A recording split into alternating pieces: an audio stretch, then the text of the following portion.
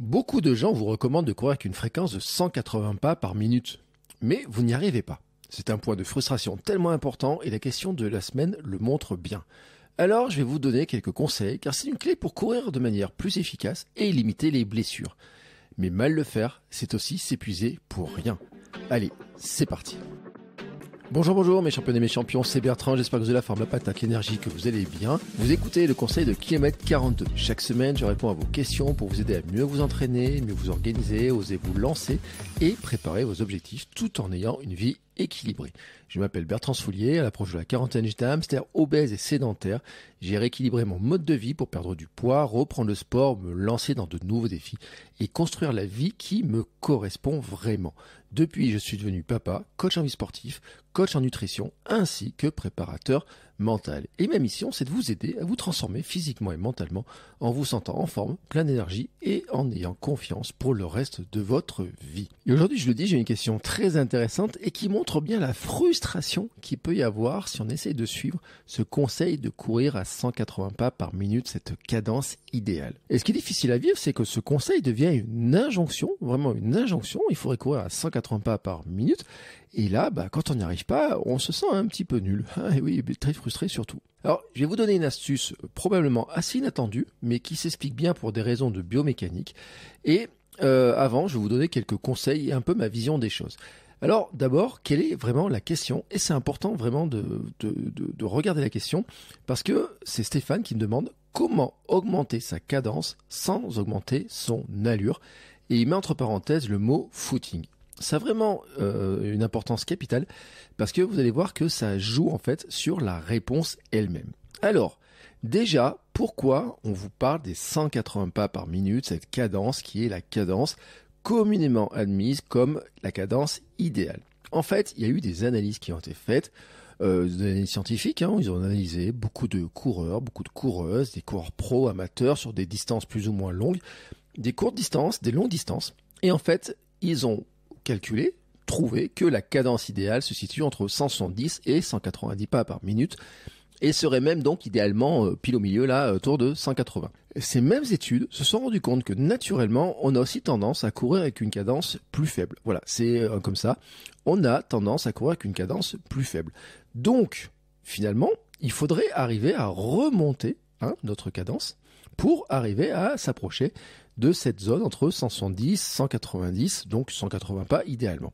Les études montrent en fait que cette cadence permet d'avoir une foulée plus légère, plus efficace, plus protectrice et donc plus économe et qu'elle génère moins de blessures. D'ailleurs, anecdote personnelle, quand je m'étais blessé pour la préparation de mon premier marathon, Thomas Laure Blanchet, qui est ostéo et ancien euh, champion du monde de trail, m'avait fait travailler ma foulée pour me rapprocher justement des 180. Et c'est ce qui m'amène au point suivant. Car je sais que c'est compliqué et pénible de trouver cette cadence. Et vraiment, je le sais. Je le dis, je l'ai vécu il y a quelques années. Alors, c'était assez vieux maintenant, parce que c'était il y a 5 ans, c'était en 2018. Et euh, à l'époque, j'ai cherché plein d'astuces. Alors, je vais pas vous faire une liste complète euh, de toutes les méthodes vraiment euh, qu'on pourrait trouver, parce qu'il y en a plein, il y en a vraiment plein. Je vous en donne quelques-unes que j'ai essayé. Donc déjà, c'est euh, avoir une musique au rythme de 180. vous allez sur Spotify, vous allez en trouver sans aucun problème. Euh, il y en a même qui ont été faites pour les coureurs 180, etc. Donc vous allez trouver à peu près ça. C'est scientifiquement pas très correct, mais en tout cas, c'est plus intéressant que la solution suivante, qui est d'avoir une application type métronome. Vous savez, les applications pour musiciens, tac, tac, tac, tac, vous la réglez sur 180, et donc euh, bah, vous mettez ça sur votre téléphone, et ça fait tac, tac, tac, tac, tac. Alors, vous avez une méthode un peu plus, euh, euh, comment dire, un peu plus légère j'ai envie de dire, c'est que vous pouvez prendre votre montre. Euh, en tout cas, si elle a la fonctionnalité, c'est le cas. J'ai une fonctionnalité métronome sur ma montre Coros. Donc chez Coros, vous avez la fonctionnalité métronome. Donc vous pouvez dire, je la veux 180 battements, et vous pouvez demander est-ce que votre montre vibre et fasse un bip. Alors, imaginez, vous partez courir comme ça, ça vibre et ça bip à chaque fois, que tac, le pas, tac, tac, tac, tac, tac. Bon. Ensuite, une autre astuce, c'est de compter dans votre tête. Et moi, j'aime bien cette astuce-là parce que je l'ai beaucoup utilisée. En fait, il suffit de savoir compter jusqu'à 4. 1, 2, 3, 4, 1, 2, 3, 4, 1, 2, 3, 4, 1, 2, 3, 4. Donc, vous repérez le rythme en fonction d'un métronome. Hein, par exemple, vous prenez l'application métronome, et puis euh, vous repérez comment ça fait 1, 2, 3, 4, 1, 2, 3, 4 à chaque fois que le métronome fait ça. Et donc ensuite, ce rythme, une fois que vous avez bien dans la tête, quand vous courez, et eh ben vous posez à les pieds 1, 2, 3, 4, 1, 2, 3, 4. Hein, euh, euh, droite euh, sur le 1, gauche sur le 2, droite sur le 3 et 4 et vous avez compris, puis vous recommencez. C'est facile à compter, c'est à faire une espèce de petit truc un peu hypnotique, j'ai envie de dire. Et euh, ça se fait assez bien. Alors bien sûr, vous n'allez pas faire ça pendant une heure, vous allez faire ça pendant des petites une petite minute. Voilà, vous pouvez faire de du, une sorte de d'alternance course-marche par exemple. Hein, vous pourrez dire bah tiens je vais me faire des petites séquences de une ou deux minutes où je vais vraiment vraiment faire attention à ça et puis euh, marcher un petit peu entre temps ou alors faire un moment où vous faites une ou deux minutes où vous faites vraiment attention et puis le reste de la séance sans trop faire attention et vous regardez ensuite quand vous rentrez chez vous si votre montre a un capteur de, de cadence enfin si elle, est, si elle a cette fonctionnalité là qui est, intégrée, bah si vous y étiez proche ou pas et si vous arrivez à vous en rapprocher. Alors après il y aurait d'autres astuces hein, comme trouver un fichier sur internet avec le fameux RIP 280, tac tac tac tac tac.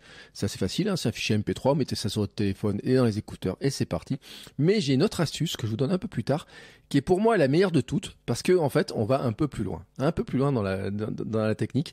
Et vous allez comprendre pourquoi parce que finalement là je vous ai donné des astuces techniques sur les outils pour suivre le 180 mais je crois qu'il y a quelque chose qui est plus important. Et donc, avant de vous laisser compter dans votre tête, je dois vous mettre en garde sur une chose qui est pour moi vraiment importante. Si vous n'arrivez pas à atteindre ce fameux chiffre de 180, c'est assez normal car en fait ça va dépendre de plusieurs facteurs.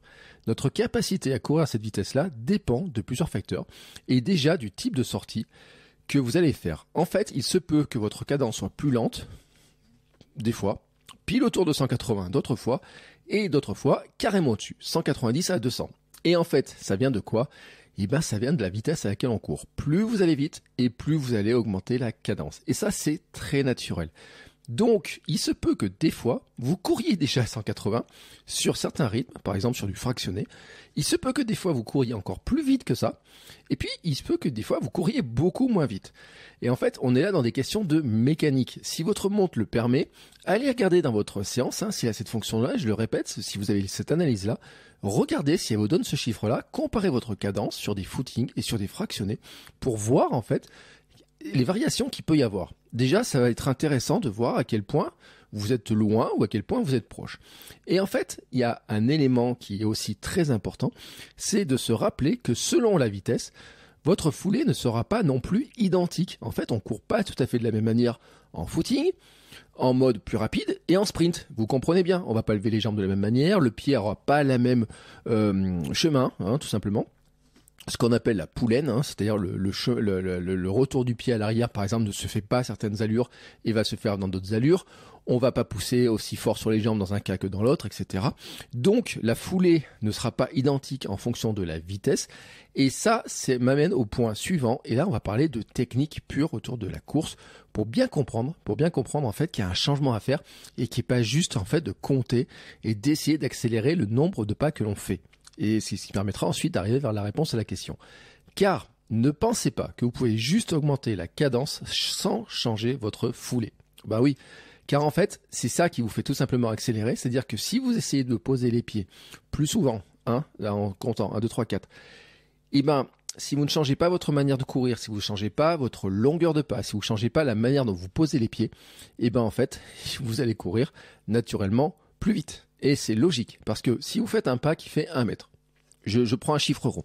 Si vous faites un pas qui fait un mètre, si vous courez à 150 de cadence actuellement et que vous passez à 180 de cadence par minute, ça veut dire que vous rajoutez quand même un sacré nombre de mètres. Donc vous allez, en essayant d'avoir la même foulée, de courir de la même manière, mais juste en accélérant les pas, eh ben forcément vous allez courir plus vite et vous allez toujours en faisant la même longueur, vous allez courir beaucoup plus vite, tout simplement parce que vous allez faire plus de fois un mètre à chaque fois que vous faites des pas en plus. Et donc là, en fait, vous retrouvez dans la problématique de la question avec une allure trop rapide, un cardio qui ne suit pas, et en fait, vous n'êtes plus du tout en allure footing. Vous êtes dans des allures beaucoup plus élevées, mais vous n'êtes plus en footing. Alors, comment faire Comment faire eh ben, il faut se rappeler que pour augmenter la cadence, il faut modifier sa foulée et notamment que ça vient, ça vient de la bosse du pied qui doit se faire beaucoup plus à la verticale du corps que peut-être ce que vous avez l'habitude de faire et c'est ce qui va aussi réduire l'impact au sol. Là, vraiment, c'est un élément qui est super important. C'est-à-dire qu'en fait, avec la cadence, c'est pas juste de faire plus de pas dans la minute, il faut changer la manière dont vous allez courir. Le pied ne doit pas être lancé loin vers l'avant. Hein, il ne doit pas être lancé loin vers l'avant. En fait, il doit venir se poser plus sous le corps. Et de même, hein, pour augmenter la cadence, vous devez poser le pied moins longtemps sur le sol, c'est-à-dire moins vous écraser et être plus dynamique. Ce qui fait que vous allez avoir un impact moins fort, mais aussi probablement, pour ceux qui talonnent, moins talonné, puisque comme vous n'envoyez pas la jambe vers l'avant, eh ben, vous allez moins euh, avoir de chances de talonner. C'est pour ça d'ailleurs que on dit que c'est une foulée avec euh, finalement avec un, ce, système-là de cadence nous permet d'avoir une foulée plus protectrice parce qu'en fait elle nous oblige d'une manière ou d'une autre à venir sur une foulée plus médio-pied, hein, plus sur l'avant-pied, sur le milieu du pied euh, que du pur talonnage. Et en fait, c'est ça qui explique que les chocs sont moins traumatisants. Vous freinez moins en plus, c'est pour ça qu'elle est plus économe, parce que attaquer avec le talon, ben ça fait des traumatismes, hein, euh, ça fait des vibrations. Hein, c'est pour ça d'ailleurs qu'il y a des grosses protections sous les talons et ça freine aussi. Là, c'est la mécanique, hein, ça freine. Vous arrivez en fait avec un, il y a des forces contraires qui vont s'exercer.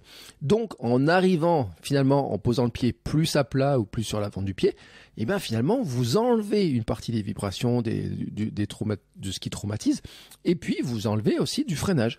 Donc c'est pour ça qu'en fait elle est plus protectrice plus économe et que normalement, normalement, en arrivant à modifier votre foulée et en arrivant en vous approchant de 180 par ce biais-là, eh ben vous allez tout simplement avoir moins de risques de blessure. Et c'est aussi ce qui explique que c'est difficile d'augmenter la cadence, en fait, parce que ça fait évoluer votre technique de course. Si vous courez depuis des années, ou même si vous courez depuis, depuis, depuis quelques temps seulement, en fait, vous avez pris une technique de course, vous avez pris des habitudes, une manière de courir. Et là, en fait, de vouloir augmenter cette cadence, vous allez devoir apprendre à courir un petit peu différemment. Changer comment votre pied va se poser, comment vous allez tout simplement courir, poser le pied. Euh, les appuis vont changer. Musculairement aussi, ça va jouer, faut le dire aussi. Euh, je pense qu'il faut faire un petit travail musculaire pour arriver à renforcer un peu plus. Il faut faire de la tonicité, il faut rendre le pied plus tonique, etc. Enfin voilà, il y a tout un travail qui doit se faire. Et ça va pas se faire en quelques secondes et juste par la volonté en comptant 1, 2, 3, 4. Alors maintenant, pour répondre à la question, comment augmenter sa cadence sans augmenter l'allure? Et là, c'est vraiment euh, un élément qui, euh, qui va être important, c'est que en fait, il faut se concentrer sur une foulée plus courte. Je l'ai dit, hein, c'est que si vous gardez la même foulée et vous essayez juste d'augmenter le nombre de pas, bah forcément vous allez aller plus vite. Donc c'est plus compliqué. Donc il faut avoir une foulée qui soit plus courte des appuis plus courts, et donc la foulée qui va changer, avec un retour du pied aussi, qui va être moins une foulée complète développée, j'ai envie de dire, par rapport à ce que vous voyez. Vous savez, quand vous voyez des athlètes, vous voyez que le pied revient très à l'arrière, hein, ce que j'appelle la poulaine. Et eh ben en fait, elle peut pas se faire. Elle peut pas se faire parce qu'en fait, le, le pied n'a pas le temps de le faire. C'est-à-dire que quand vous augmentez la cadence et que vous êtes à petite allure et que vous, vous raccourcissez la taille des pas, j'ai envie de dire que vous êtes moins souvent, moins de temps en l'air en fait. Hein. Donc le, le, le, rythme du pied, le mouvement du pied ne peut pas se faire de la même manière, il peut pas être complet.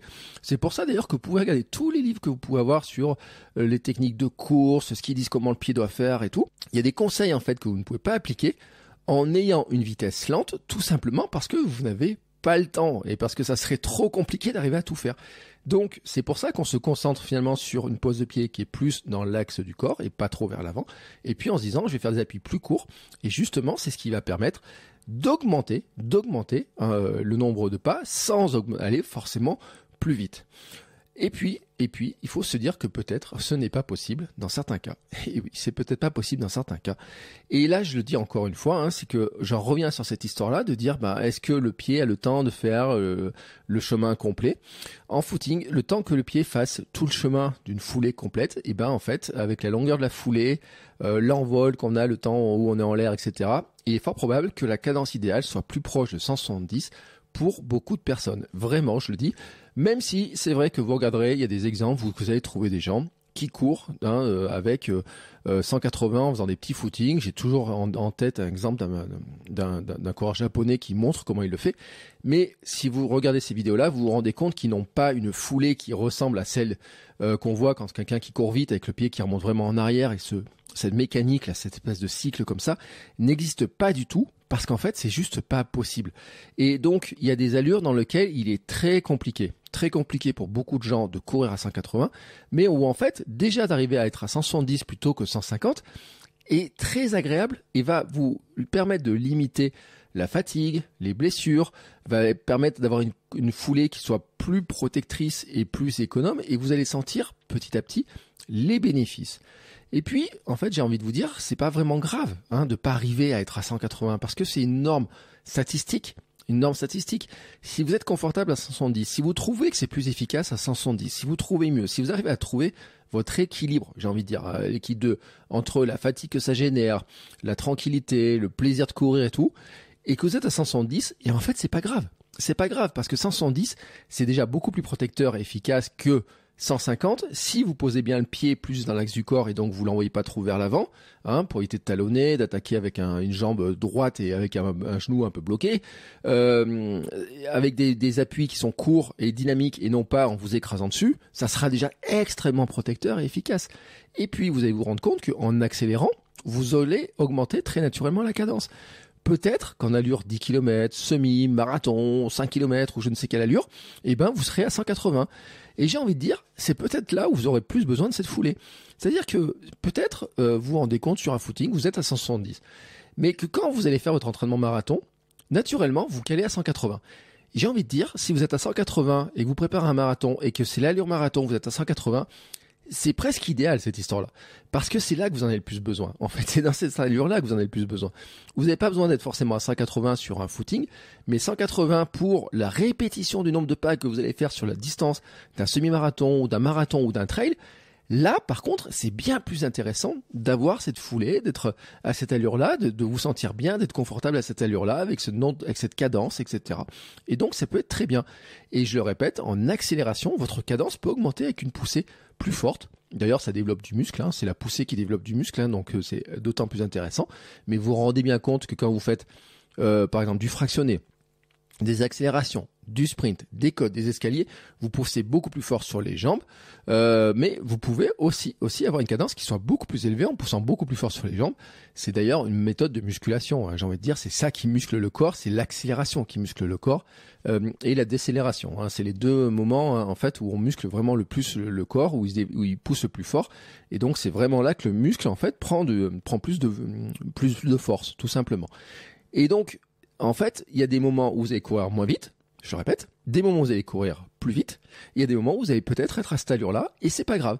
Mais je pense qu'il faut pas faire une fixette en se disant, je devrais être en 180 en footing, parce que je crois que c'est pas l'allure qui soit vraiment la plus confortable pour beaucoup de gens d'être à 180 en footing. Voilà, c'est euh, peut-être on est mieux à 170. Et là, c'est un constat. J'ai lu beaucoup de choses, j'ai lu des livres sur le sujet, j'ai euh, fait beaucoup de contenu. On m'a posé souvent la question. Et c'est un constat. Et moi, quand je regarde aussi mes analyses de course, eh ben c'est vrai que 180 sur un footing où on est vraiment cool en allure, euh, en endurance mentale, eh ben on n'est peut-être pas super confortable et que c'était pas l'idéal de le faire à ce moment-là, mais que si on y est après sur d'autres allures, eh ben c'est peut-être tout aussi efficace. Maintenant, pour terminer, je vous ai promis en fait ma fameuse astuce pour vous rendre compte de ce que c'est vraiment et de comment trouver cette allure hein, de 180 pas par minute et de vraiment vous rendre compte. Elle a un gros avantage, c'est que vous n'avez même pas besoin de sortir. Vous pouvez faire ça chez vous tranquillement. Vous n'avez même pas besoin de mettre de chaussures ou quoi que ce soit. Faites le même pied nu euh, tranquillement. Moi, je le fais comme ça. Euh, en fait, il faut le faire à l'arrêt. un exercice qu'il faut faire à l'arrêt. Bah ouais, on est dans un podcast, on parle de course à pied, de sport, de mouvement, mais là on le fait à l'arrêt. Et en fait, vous prenez une application métronome, voilà, ou un fichier, n'importe quoi, mais quelque chose qui vous permet de repérer le fameux rythme de 180. Et donc vous restez sur place et puis vous allez bouger les bras au rythme des 180. Et oui, bougez les bras. Euh, donc le 1, 2, 3, 4, par exemple, le bras droit, bras gauche, 1, 2, 3, 4, 1, 2, 3, 4, 1, 2, 3, 4. Vraiment ça. Et là, c'est de la mécanique. La mécanique va rentrer en jeu, c'est la mécanique du corps, c'est la magie du corps. C'est qu'en fait, les bras participent à la foulée et à l'équilibre. Et quand vous levez la jambe gauche, en fait, bah, par équilibre, vous levez le bras droit aussi. Hein, je veux dire, hein, c'est euh, c'est le mouvement, il est comme ça, c'est-à-dire que euh, c'est droite et gauche, hein, euh, en haut et en bas, euh, ils sont inversés. Voilà, quand vous courez, et eh ben c'est ça qui va qui va jouer. Donc au départ, ce que vous allez faire, c'est juste commencer par bouger les bras. Quand vous avez bien repéré le rythme avec les bras, eh ben, vous allez, vous allez vous rendre compte que vos, vos jambes vont suivre au même rythme, tout simplement parce que c'est une question d'équilibre. Le corps est fait ainsi, hein, c'est vraiment fait partie du corps. Vous pourrez même aller plus loin parce qu'il y a des sections de rotation, il y a des choses comme ça qui sont très intéressantes. Mais vraiment, rappelez-vous que les jambes et les bras sont synchronisés. Donc, si vous arrivez à bouger vos bras plus vite, les jambes vont bouger plus vite aussi. Donc, vous commencez par bouger les bras pour bien repérer le rythme. Puis ensuite, vous allez faire deux exercices. Vous allez voir, ils sont très simples. Le premier, c'est de mimer le rythme en levant juste le talon avec les pieds.